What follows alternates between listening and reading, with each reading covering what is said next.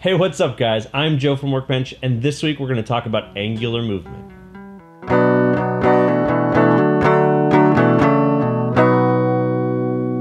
Alright, so in this tutorial, I want to convert things where we have a horizontal and vertical parameter into an angle and a distance. So you notice I have sliders for angle and distance on here, and I can change this angle, and it'll change our displacement map to displace this like shadow that I made out of a texture layer around any direction I want.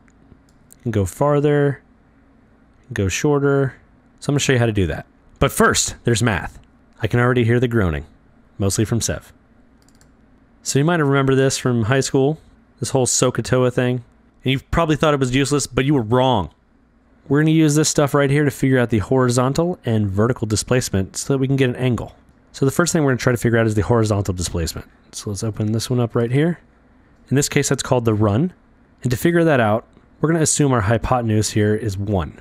That's going to allow us to use a little bit easier math and also to have a nice distance setting. All right, so we're going to try to find the adjacent over here. So if you don't remember, and you probably don't, cosine of the angle, which is here is represented by theta, is equal to the adjacent over the hypotenuse. Since we're setting that to 1, just cosine of the angle equals the adjacent. So for now, we're just going to do 25 degrees just because that's what I felt like putting on here. So we have cosine of 25 degrees equals x, just to give you an example of how that works. So let's pull up our expression. All the expressions in here will be in the description down below. I think YouTube will allow me to post this one. They just don't let you use certain symbols because they suck. Just kidding. All right, so these first two things, I'm just bringing in my controls.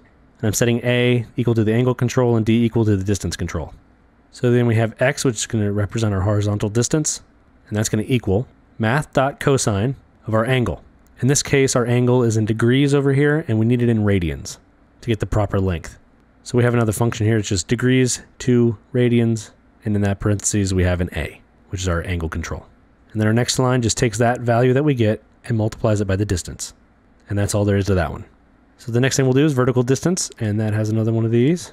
So now we want to find the y, which is opposite our angle. So in that case, we're going to use sine. So we have sine of the angle equals the opposite over the hypotenuse. And again, the hypotenuse is 1. So we're going to have sine of 25 degrees equal to y. So let's look at our expression on that. Bring that into expressionist up here. And we have almost the exact same code. The only difference is instead of math.cosine, we're using math.sine and degrees to radians of the angle. And then we end with y times d, and that's it. That wasn't too bad, was it? Horrible. Bastard. So that allows us to convert our displacement into an angle. And why is that useful? Well, if I want this to actually displace, say, 30 degrees, because I know these are all 30 degrees, if I set this to 30 now, I can have this go exactly in line with the edge of this. Or if I want to have things that move with this, I don't have to like rotate them by something and figure out what they would go angularly. I can just animate the distance. So let's take a look at another example. I'm calling this one angular movement. Everything in this has that expression on their position because you can do the same thing with position.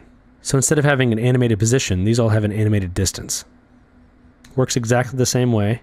So if we bring the expression from position up into here, so you can see on this one I do pretty much the same thing, just combine the two. I bring in my angle and my distance controls. Then I have x equals math.cosine of my angle converted to radians. Then I have y equals math.sine of my angle converted to radians. Then I just have value, which is wherever it's at already, plus, and then I have x times d, comma, y times d. So then if you go up in here, and when you look at what I have animated, I just have my distance slider animated. So I can make this go further, further back this way, undo that. And all of these little stars and all the stuff in the background and everything has that applied to it. In those cases, all the stars and stuff, they have a negative distance that just keeps increasing or decreasing. And that's pretty much it. So that's an example of one way that you could use this. So can you animate without doing this? Yeah, sure you can, but this makes it a lot easier and you can be precise with things. So if you have things that require that or you want to have a certain look, this makes it a hell of a lot easier. So I hope that helps you guys and that's just another thing you can add to your toolbox. Seth says you should add it to your workbench. If you have any comments or questions, leave them in the comments down below. And if you'd like to help support what we do, check out patreon.com slash workbench. Make sure you follow the blog at workbench.tv. And as always, I am Joe, and I'll see you guys next week. Bye. Bye.